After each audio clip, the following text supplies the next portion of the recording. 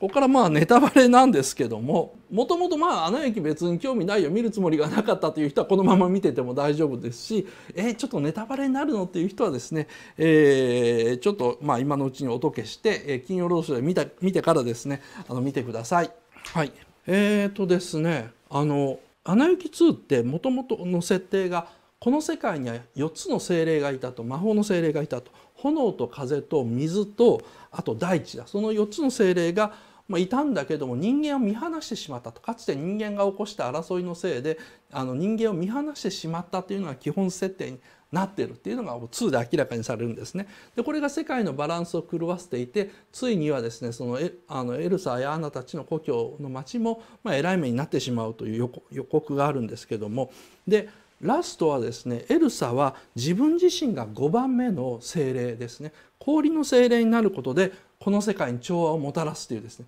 かなりこう変な話なんですね。あのでだからあの1でですね氷の城に暮らして少しも怖くないわって言ってたエルサをアナが「そんなことしちゃいけないあなたはちゃんと人間の世界で一緒に住みましょう」って言ったはずなのに2のラストではもう一回また別のなんですけども氷の城みたいなとこで暮らすんですよ。ねで割とね1の逆張りなんですよ。でこれってあの「もののけ姫」なんですねつまりディズニーがいかに宮崎アニメを取り込んだかという話でもあるんですね。もののけ姫ではその森と人間社会の対立ってラストあの解決しないんですよ。でしかしもののけ姫であるサンが森に残ってアシタカがそこで通うことによって解決してないんだけどもお互いにその向かい合うっていう関係が残るんですね。解決はしないんだけど関係が残るっていう話なんですよ。であのゲーム・オブ・スローンズっていうですねあのテレビシリーズ海外テレビシリーズあるんですけどもその中でもですねこれあのね多分ね今ね日本から始まったかどうか分かんないですけど海外で流行っている終わり方だと思うんですけどゲーム・オブ・スローンズでもですねあの主人公の一人ですね落とし子ですね王の落とし子ジョン・スノーは北の壁の守り手として、まあ、壁の向こうの世界で生きることを誓うっていうのが、まあ、ネタバレにならないように言ってるんですけど、まあ、それがまあまあ全体の使命になってるんですけども。でこういう終わり方ですね「そのもののけ姫3アシタカの関係」といいですね。ゲーム・オブ・スローンズの終わり方といいですね。ハッピーエンドじゃないんですよ。決してハッピーエンドではないんですよね。だからサンは最後笑ってないんですよ。そのこの森はもう私たちの森ではないというふうに言うんですけどもアシタカが慰めて私も通ってここに通おうって言ってくれたんでやっと笑顔を取り戻すんですね。つまりあの救いのあるアンハッピーエンド。アンハッピーエンドなんだけども救いがあるという終わり方なんですね。で「アナ雪2」もこれなんですよ。救いのあるアンハッピーエンドですね。あのエルサだけが自分が精霊になってしまうイコール5番目の精霊になってしまうということは人間の世界を捨ててしまうということなんですね。あのそれをですね理解しているのでラストのですねエルサは悲しそうなんだけどももう一回家族に会うから、えー、ちょっと明るい表情になってる。いわゆる3の最後、えー、アシタカが慰めてくれたから返す笑顔みたいな顔になってるんですけどもですね。つまりその冒頭の未知の世界へイントゥジアンヌーンを歌ってるのは人間社会からの別れとそれでも生きたい別の世界を歌っているのであの後悔はないんですねエルさんには。だからその明日がのですねそなたにも会いに来ようっていうのと同じで毎週どうも週末には妹の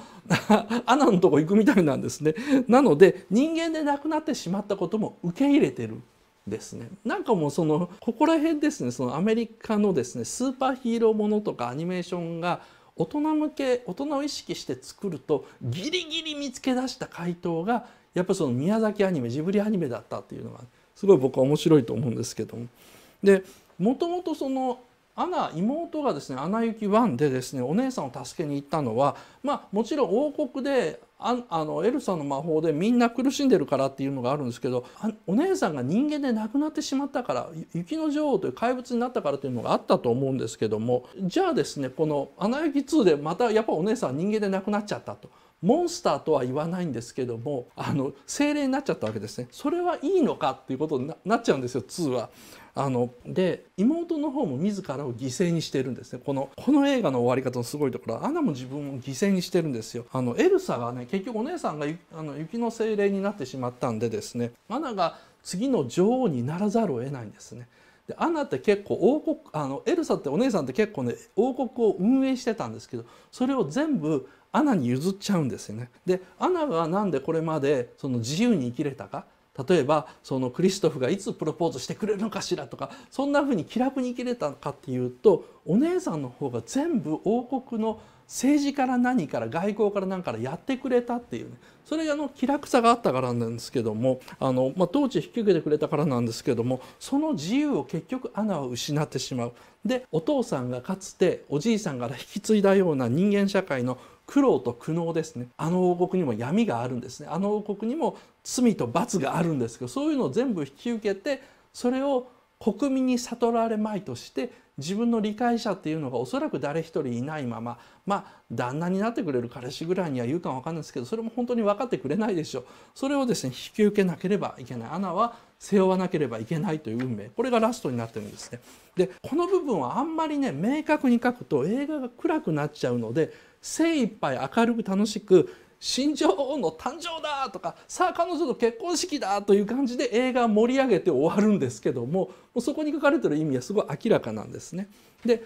2人の姉妹の結論っていうのはお姉さんはもののけ姫になってしまって人間を捨てて孤独な自由を手に入れるという話なんですね。で精霊になってしまったから少しも寒くないわなんですよ。相変わらず薄着でそのなんだろうな氷の城みたいなところに住むんですね人間でなくなっちゃう。で妹の方は女王に即位してまるであのエリザベス女王のようなもしくはビクトリア女王のようなというふうに言った方がいいのかな国を背負うんですね国と政治とをですね国民を背負ってしまうと。で国王であるじいさんがかつて犯してしまった罪をまあ償おうというふうにですねそのアナとエルサのお父さんもかつて国を背負った時にですねこの罪は償わなければと思ってまあ偉い目に遭うんですけども同じようにですねこの世界の暗黒ですね人間世界の暗黒を妹の方は引き受けるようになるんですね。でなんでこんなふうにその2人の姉妹はこの世界のなんだろうなあらゆるマイナスを引き受けるのかっていうとあの YouTube のコメントでですね、えー、こういうのがあったんですけども翻訳といえば幼児期の事故があった時にお父さんが駆けつけて最初に言う言葉が翻訳では「エルサ何があったんだ」これはあの「アナ雪の1」です、えー、エルサ何があったんだっていうのが翻訳ですけど言語では「エルサ What What Did You Don？」っていうふうに言ってると。つまりエルサ何をしたんだというふうに問い詰めている。それもトラウマになりそうな恐ろしい語調で言うと。作者がつまり監督がシングルマザーと聞いて奇妙に納得した記憶がある。男性恐怖と男性不信がこの物語の背景にある。っていうコメントがあったんですけども。あこれあのすごい面白い指摘なんですよ。このコメントまあまあこれ僕の意見じゃなくてそのコメントした人の意見なんですけどもすごい面白いですあの僕もですねその「アナ雪1」より「アナ雪2」の方がその女性監督であるがゆえの使命感がすごい強く現れてると思うんですね。1の時はその例えばその「アナ雪」の1の時はヴィラン悪役を設定しないんですね。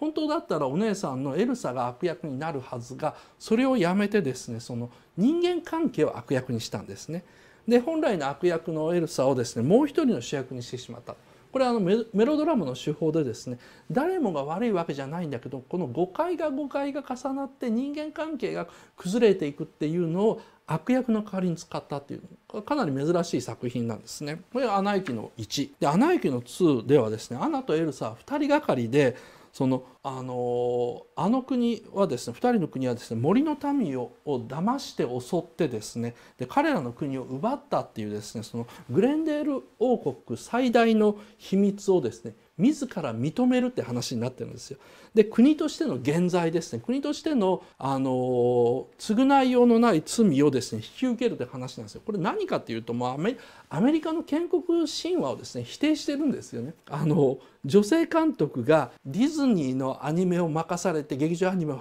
任されてパート2任された時に何をやったのかっていうとかつてのアメリカのその新世界に対して、えー、移民たちが来てで、えー、アメリカ大陸を征服したんだっていう嘘を暴いてアメリカの先住民たちを騙して土地を奪ってその歴史を隠すことでアメリカっていう概念ですね。アメリカという共同幻想が成立したと。でこれを認めてですねもうこれを認めちゃって先住民とのあの共存を目指すですね過ちを認めて、えー、共に生きるというのは男性の王ではできなかったと。つまりだから2代続けて失敗したわけです。ねおじいさんの代で先住民を騙すことしかできなかった。お父さんの代でその罪を償おうとしたんだけどダメだった。で初めて女王になって可能になった女の役割はこれだっていうですね、まあ、すごいその主張が強い話なんですね。だから「アナ雪2」はもう本当にね面白いぐらい男がだらしないです。役割がないです。トラブルを起こすこと